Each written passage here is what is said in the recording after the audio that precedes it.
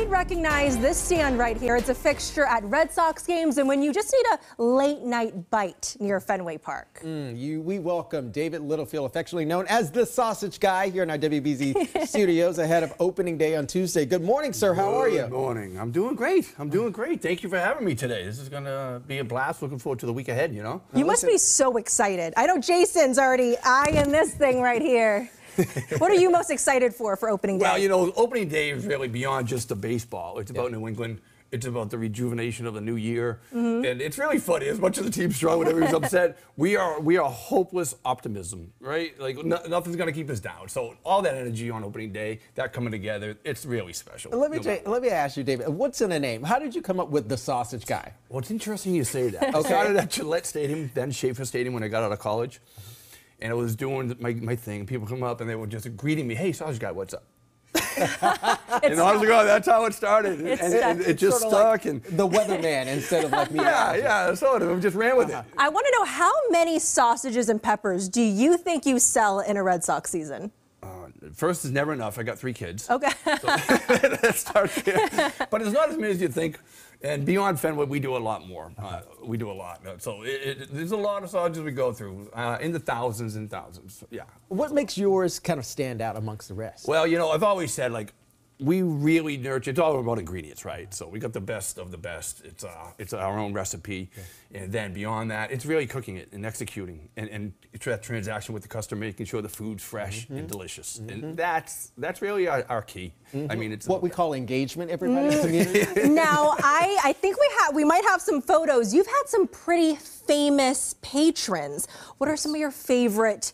I guess Red Sox memories. Tell me about like the meeting Big Papi. Yeah, I think the David Ortiz thing was uh, that relationship started with uh, with Good Sports years ago, mm. and it was an auction item, and we were doing this event and we, we didn't really, we got a call last minute. Can we pair you up in a mm-hmm. wiffle ball game with David Ortiz and the fruit? I'm like, yeah. yeah. You're like, yep. Yeah, listen, sign me up. Yeah. And that flourished into a great relationship with David. I, you know, we, we see each other, like, like just recently at one of his uh, charity golf tournaments, it was, uh, it was incredible. I had an old picture that I had him signing. He's like, dude was still doing it. Mm. you know, it was like there was a, the special guest that would come and visit. Who would that person be? The special guest? Besides me and Tiffany. Yeah, and, and Big Papi. Yeah, and Big Papi. we're, right, we're right up there, right? You know, one of my favorite guests, it is not known to everybody, it was the drummer from Boston, Sib. Okay. And he was a real special guy. He was a real neat guy. We met on a, at a charity event, and he came and visited me night after night whenever he was on Lansdowne Street at a ball game.